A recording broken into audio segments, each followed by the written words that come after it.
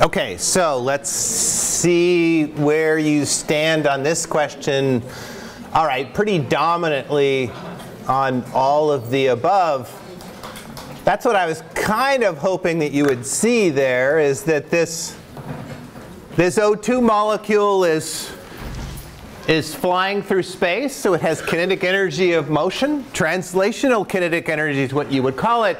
It's also changing its orientation, so it has rotational kinetic energy. It's also vibrating back and forth, so it has what you could call vibrational kinetic energy. And you know something about vibrational kinetic energy. Anytime you have kinetic energy changing because of a bond, you have potential energy changing because of a bond. So all of the above. They're all there. We are going to uh, add up, we're going to count the number of kinetic energies. So atoms live in a three-dimensional, so here's one of the helium atoms. Atoms live in a three-dimensional world. If you see an atom, one of those helium atoms moving fast this way, does that mean, does that tell you anything about whether it's moving fast that way or this way? Or up or down. If you look at ones that are moving fast to the right, does that tell you anything about how they're moving up and down or forward and backward? And the answer, I hope, is no. Those three dimensions are completely independent of each other. The kinetic energy back and forth can be completely different than the kinetic energy up and down or the kinetic energy back and uh, you know forward and backward. And so there are, because these atoms live in a three-dimensional world, every atom has three possible independent kinetic energies.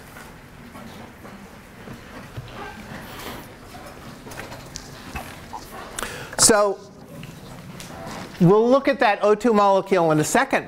But let me just uh, finish this. How many kinetic energies for each atom? Three, because they live in a three-dimensional world.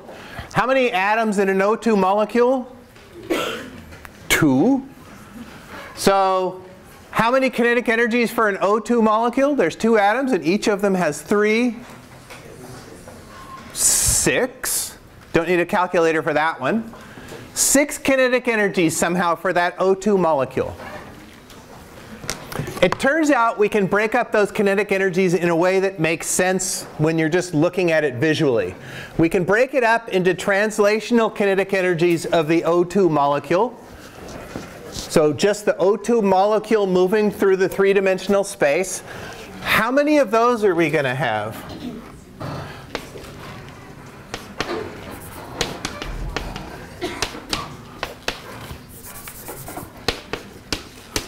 I mean, there's going to be 6 Ke terms total. But how many of them for an O2 molecule are the O2 molecule moving through space? How many of those kinetic energies for the whole molecule moving through space? Three of them. That molecule lives in a three-dimensional world. It can be flying this way, or this way, or that way, or some combination. That molecule flies around through space. So there, so you can break this up and say, oh, there's three ways that the whole molecule can fly around through space. Three independent speeds that the molecule can have through space. What else can the molecule do? Well, we talked about it, rotations. How many ways can it rotate? Well, I can pick a vertical axis and I can say it can rotate like that. Or I can pick an axis like this, straight at you, a horizontal one, and say it rotates like this. So that's at least two. And what about the last axis, this one? So it rotates like that. I'll give you a hint. What, kind, what does that kind of a rotation look like? Just looks like the rotation of one atom. Do we have rotations for one atom? No, we don't. Not at the temperatures we live at. So how many rotational kinetic energies for a, a, linear molecule, one that you can look down the axis, like any diatomic molecule is linear. CO2 turns out to be linear. Is H2O linear? Nope. So linear molecules two rotational kinetic energies because it can rotate around this axis or that axis, but not the third axis. Two rotational kinetic energies, three translational kinetic energies. That's only five, so there's got to be something else. What should we call it? Vibrational kinetic energy. These two things can vibrate back and forth. Once I've gotten to five, I know what to call the last one. I know I have to call it vibrational kinetic energy. It's the only thing left.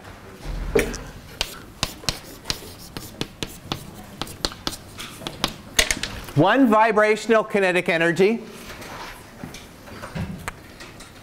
Any other energy terms? There's no other kinetic energy terms. Is there anything about translational energy, kinetic energy, or rotational kinetic energy, or vibrational kinetic energy that tells you there ought to be another energy term? Once there's vibrational kinetic energy, there's vibrational potential energy. If I have one vibrational kinetic energy, I have one vibrational potential energy. For every vibrational kinetic energy, there's a vibrational potential energy. I can add up these energy terms and I find out there's seven of them. Well, why am I doing all this counting? The reason I'm doing all this counting is that you can prove that energy, thermal energy, is distributed equally into all the energy terms on average. Equipartition means equal partitioning. Whatever energy, thermal energy you put in is equally distributed. The thermal energy is equally distributed through into all the energy terms. If you have twice as many energy terms then at, at the same temperature, then you'll have twice the energy. Sorry, twice the thermal energy. The important thing here is, or an important thing, is the size of the amount of energy that's in each, in each of the energy terms. And it depends on the temperature, and it depends on K sub B is Boltzmann's constant. So 1 half times Boltzmann constant times the temperature tells you how much energy, that's a measure of energy, it's the energy of, on average, it's the rotational kinetic, it's what, it's, there are two rotational kinetic energies. They, for this molecule, one of them is rotating one way and one's rotating another way. So the total rotational kinetic energy, since there's two terms, is twice this one half. The total rotational kinetic energy, on average, of this molecule is K Boltzmann times the temperature. The average translational kinetic energy of one of these molecules, this helium right here, helium only has the three translational kinetic energies.